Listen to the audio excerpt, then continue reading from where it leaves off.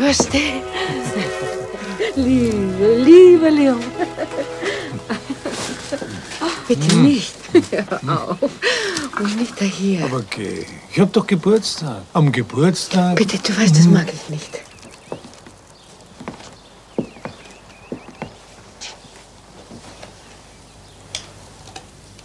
Geh. Jetzt schau doch nicht so. Ah, geh. Erst mein Joghurt, dann die Dusche und dann eins nach dem anderen. Du bist meine Dusche. Meine Geburtstagsdusche. Entweder ganz heiß oder ganz kalt. Kalt nur, wenn ich allein bin. Ein Geschenk von mir. Erinnerst du dich? Amelie Paratini. Leonidas Tachizzi. Beim gloriosen Linkswalzer. Ich erinnere mich und ich danke dir. Tausendmal.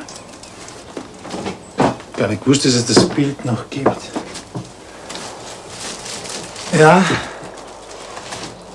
Da waren wir noch Kinder damals. Das heißt, du bist ja noch heute. Na freilich, Onkel Leo. Sei doch nicht so grauslich erwachsen, du. Du bist ein Kind.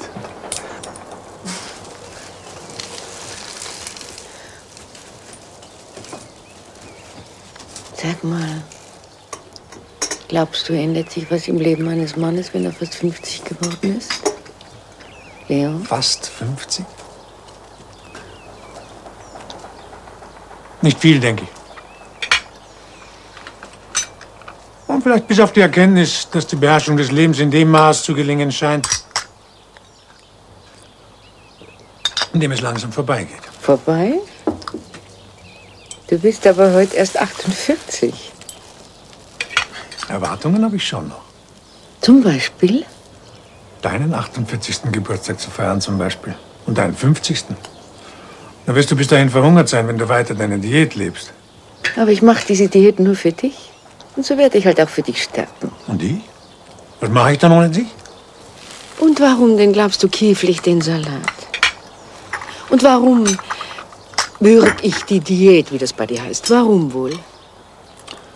Weil Paradini sich fast mit Disziplin reimen tut. Deswegen wärst du ja unerträglich, von dir selbst einfach nichts zu verlangen. Dein Glück mit nichts bezahlen zu müssen. Ja? Mein Glück. Einbilden tust du dir wohl gar nichts, Leon. Na, freilich dein Glück.